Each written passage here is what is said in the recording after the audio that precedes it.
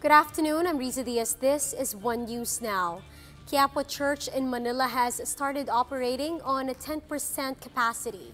Devotees, devotees started queuing up outside the Quiapo Church as early as 5 o'clock in the morning today, but only 100 individuals or 10% of the church sitting capacity was utilized. The church implements a first-come, first-served basis.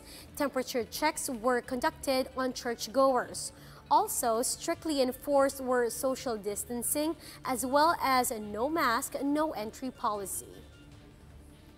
And here are other stories we're keeping our eyes on. Detained Senator Leila de course Senator Bato de la Rosa, who earlier asked ABS-CBN workers to look for other sources of income. She said the administration senator should instead urge President Duterte to do his job. 75% or three out of four Filipinos wanted Congress to renew the legislative franchise of ABS-CBN. That's according to a social weather station survey conducted last week.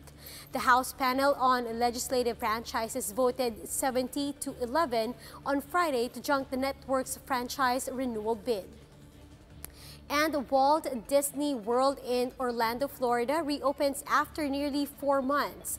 The Disney-themed park caters to a limited number of visitors to encourage social distancing.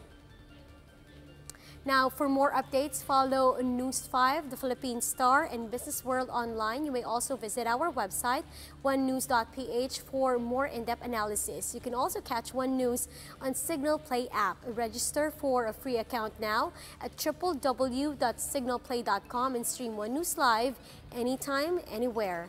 I'm Riza Diaz. We are One News.